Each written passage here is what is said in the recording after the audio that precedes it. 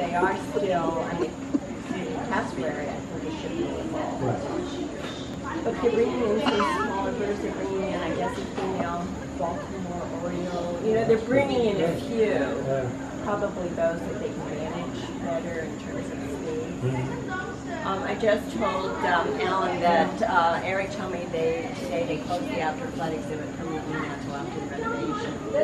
Um, and they're bringing all the birds from that in. But they're actually um, bringing in a um, female um, curassow. The other one is really, we go on that side. So the intro, the male and the female will be introed in the background, so they're not only introed in the yard that you see the male in.